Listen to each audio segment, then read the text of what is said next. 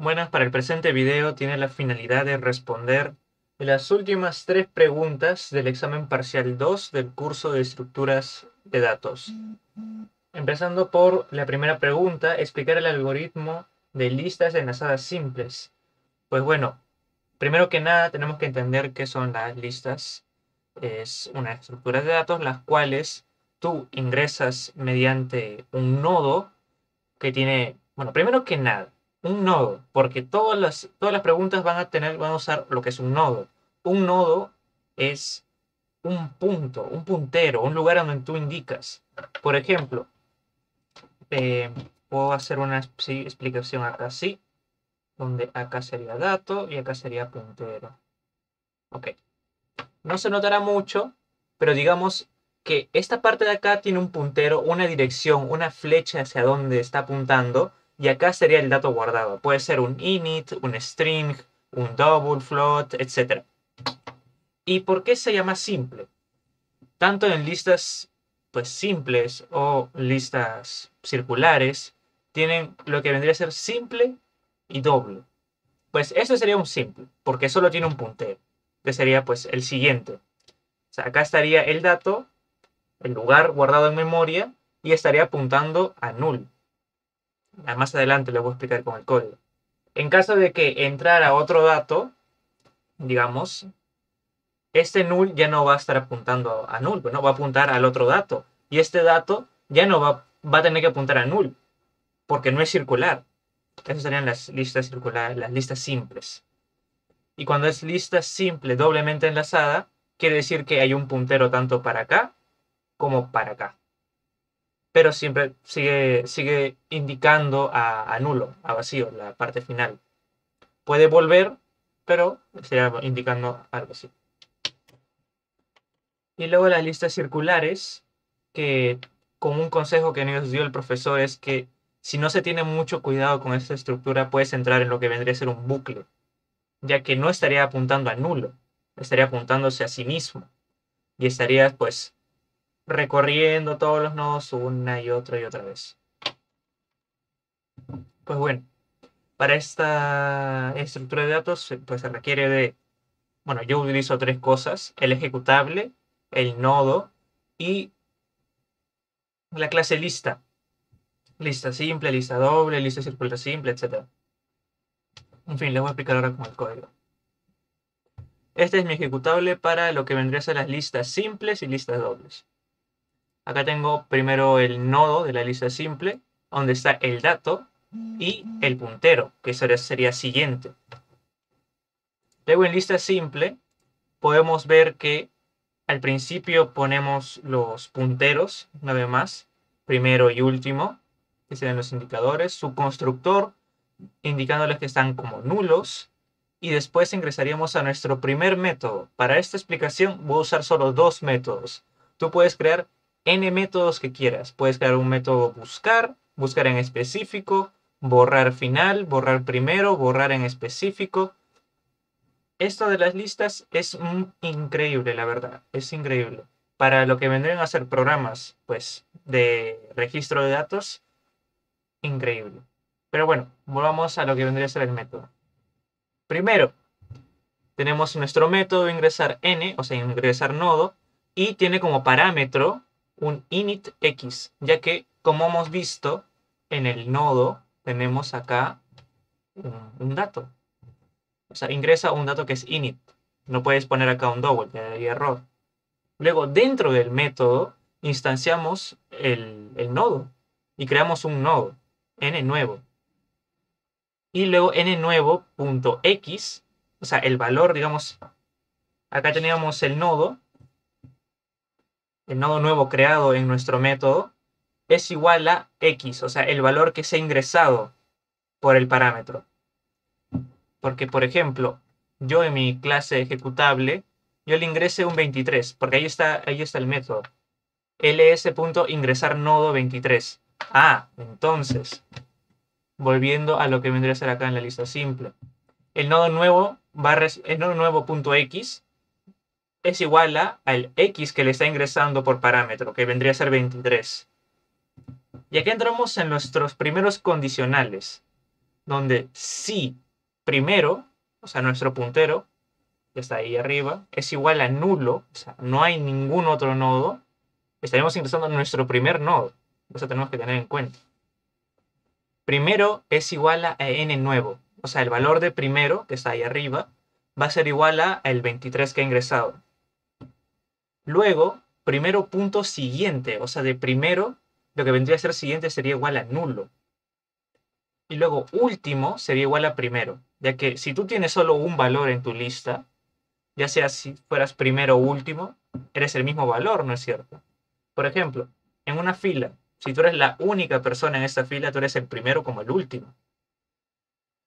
Ah, luego entramos al siguiente condicional, que vendría a ser en caso de que ya no haya más nodos, pues, ¿no? Último punto siguiente, o sea, el último dato, digamos acá hay una, un dato, luego acá hay otro dato, el último dato, el siguiente va a tener que apuntar al nuevo.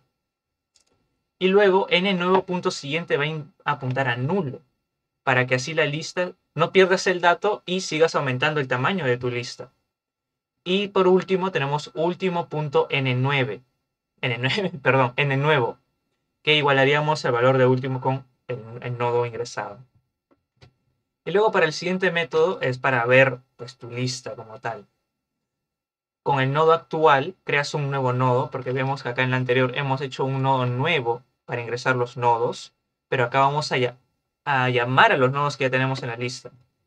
¿Por qué? Porque vamos a poner, vamos a igualar actual a primero. Y mientras que actual sea diferente, porque está, hay un signo de interrogante igual, o sea, que indica que es diferente a nulo, o sea, que hasta que llega a nulo, va a ir haciendo ese bucle, el bucle while. Y vamos a imprimir por consola dato más actual.x o actual.valor o el valor que tenemos guardado en el nodo. Y para salir del while, vamos a poner, vamos a aumentar el valor de actual por actual igual a actual punto siguiente. Digamos que actual cuando se imprimió, ah, salió el 23, ok. ahora voy a igualarlo actual con pues, el siguiente dato que sea 43. Y así, y así, hasta que lleguemos al nulo, donde no hay nada. Y el condicional va a decir, ah, que ya no hay nada, acá me detengo. Ya no hago nada más. Estos serían nuestros dos métodos para la lista simple.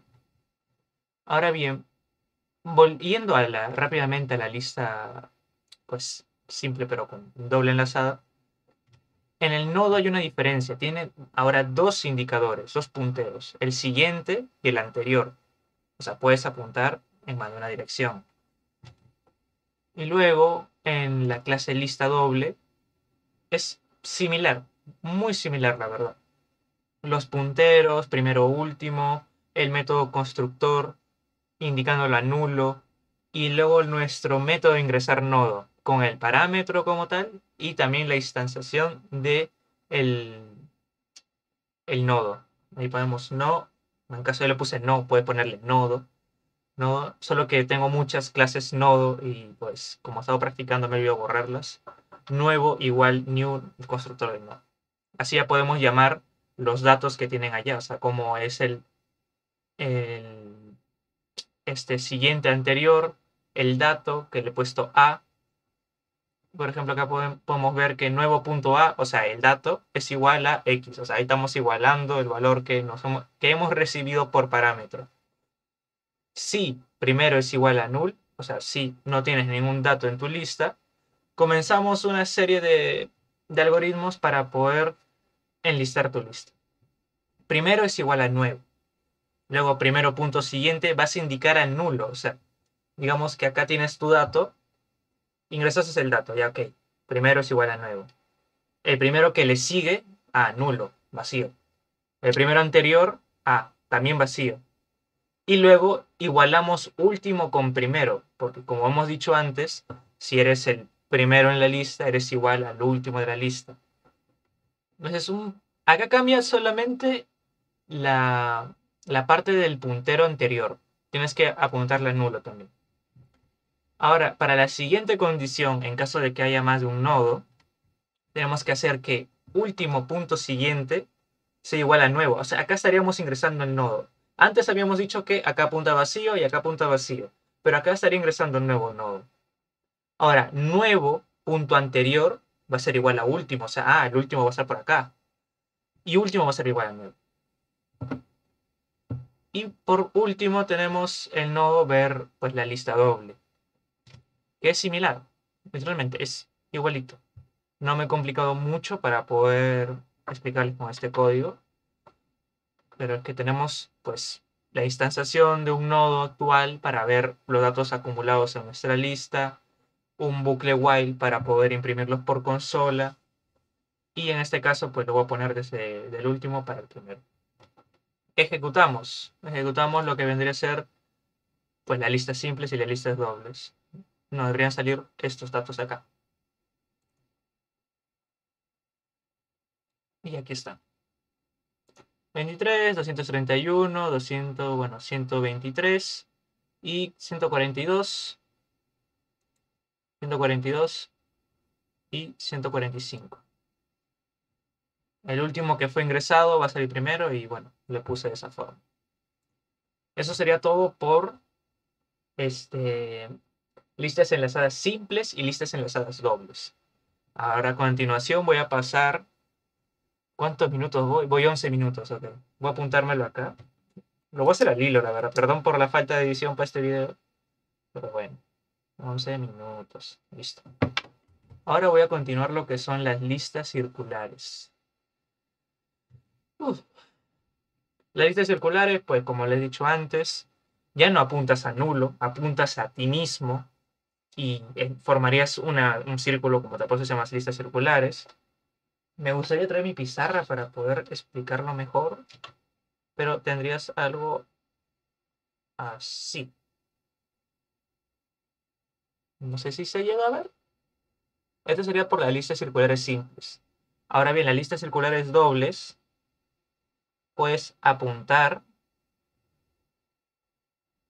al nodo al que estás guiando. Como un doble círculo. Un círculo en sentido horario y otro círculo en sentido antihorario.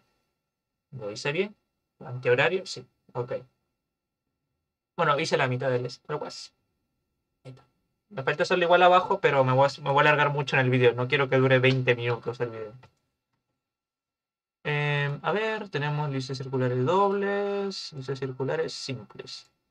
Y pues los nodos. Voy a hacer los nodos de los dos, ¿ok? Para hacerlo más rápido esto. Vemos una, un, ¿cómo decirlo? Una similitud respecto al nodo simple, que tiene pues el dato y el puntero. Y en el otro, los dos punteros y el dato pues no, no, no varía mucho la, si es que está arriba o abajo. Es. Lo que quiero rescatar es que si es simple, tiene solo un puntero. Si es doble, tienes dos punteros. Uno para, pues, para apuntar para el siguiente, otro para el anterior. No hay mucho misterio. Ahora volvemos a la lista circular simple. Igualmente, el constructor, los datos inicializados y el método ingresar nodo. A ver, Ingresa por el parámetro. Ok, ya lo tengo. Instancio mi, método, bueno, mi método, mi clase nodo para, la lista circular simple. Ya, ok. Nuevo igual, nodo, ta, ta, ta. Ahora guardo el parámetro, el dato ingresado por parámetro. Nuevo punto dato es igual al dato que hemos ingresado por parámetro. Ya sea 10, 20, 58, etc. Ingresamos con los métodos de si es que no tienes ningún nodo, o sea, tu primer nodo ingresado, y si es que ya tenías un nodo. Si, tenías un, si no tenías un nodo, o sea, si primero estaba vacío, no hay nadie tu fila, primero es igual a nuevo, o sea, al, nodo. Este último es igual a primero, y luego primero punto siguiente es igual a último. O sea, acá ya no está apuntando a vacío, está apuntando a la cola, o sea, al último. Y ese caso ya tú ya tenías un nodo, pues último punto siguiente va a ser igual a nuevo. O sea, estamos moviendo un poco en espacio. Nuevo punto siguiente va a ser a primero. Y para mantener el ciclo, último va a ser igual a nuevo. Y el método que hemos visto antes de este mostrar lista. En este caso lo hice con un do while para poder mostrar. actual igual primero, la instanciación de un nodo actual para mostrar los datos guardados en la lista. Y para salir del bucle, pues hemos puesto actual igual actual punto siguiente, y así, y así, así, así. Y cuando actual, ojo con, esta, con este while, porque en el otro hemos visto que hay que ser muy, muy cuidadosos con esto, me dijo mi profesor, porque si no, entraríamos en un bucle y podríamos pues saturar la PC o a otro problema. Cuando actual sea diferente, o sea, deje de ser diferente de primero, pues, hace el código. Pero si es igual a primero, ahí se detiene. Es por eso que es un do while, para que empiece de una vez el, código. ¿Por qué primero? Este, porque tú ya tienes pensado ingresar más datos, ¿ok? En una actual, en una lista pues, circular. Porque no existe una lista circular si solo ingresas un dato, o sea, aunque sean dos. Pero bueno, no, sé. Y cuando llegas al primero, por ejemplo, ingresaste como primer dato, pues, un, 3. Llega a ser un 3 y ahí se detiene tu lista. Es una forma de salir del método mostrar lista. Ahora pasemos a lo que vendría a ser la lista circular doble. Pues un poco más de lo mismo. Los punteros inicializados al principio de, la clase. Luego el constructor con sus, pues, cada los punteros indicando a nulo. Luego ingresar nodo. La retención del dato, la instanciación de la clase nodo. El dato guardamos en nuevo punto dato. Si no tenías un, si no tenías ningún nodo, entrarías en la primera condición, donde primero es igual a nuevo, primero punto siguiente, o sea, el que le sigue a este va a ser igual a primero, y nuevo punto anterior va a ser igual a último. Ahí estaríamos el doble, el doble apuntado. Y luego último igual a nuevo para pues, cerrar el círculo. Y en caso de que no, ya tengas ya un nodo guardado, pues último punto siguiente es igual a nuevo, nuevo punto siguiente, o sea, el nuevo dato guardado, el siguiente va a ser igual a primero y nuevo punto anterior va a ser igual a último. O sea, ahí estaríamos moviendo el dato ingresado para poder acomodarlo en nuestra lista circular doblemente enlazada. Y para cerrar la lista, pues primero punto anterior igual a último. Y una vez más, nuestro método mostrar datos, mostrar lista, etc. La instanciación de un nodo con el actual igual primero y el, el bucle do while para poder imprimirlo. Con la misma condición porque en este caso estamos trabajando con listas circulares, tanto simples como dobles. Uf, Dios mío. Ahora vamos a ejecutar. Acá tengo pues en una clase aparte el ejecutable, donde instancié igual que en la anterior clase, pues tanto la lista circular simple y la lista circular doble.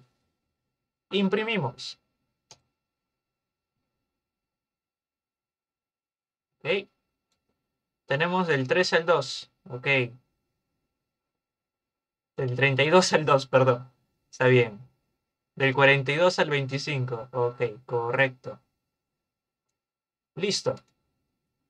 Ya tendríamos pues nuestros dos métodos, tanto ingresar nodo como mostrar datos. En lista circular simple, lista circular doble, lista simple, lista doble. Pues eso creo que ha sido todo por lo que vendría a ser. No, mira, vamos 19 minutos. Quisiera redondearlo. Profesor, hasta acá dura mi evaluación. Más bien esto para el canal en sí. Eh, eso sería todo por mi examen. En caso de que para el propio canal me nazca hacer más métodos, porque he visto distintos métodos en internet para implementarlos también en mi proyecto del en mi proyecto para el examen, no, para la presentación final del mismo curso, pues capaz me anime para subirlo al canal. Si eres alguien, más del alguien aparte del profesor que ha visto este video, por favor dale like, suscríbete, comparte comenta, dime Jesús, no está horrible tu código, no sé. Muchísimas gracias por ver. Hasta la próxima.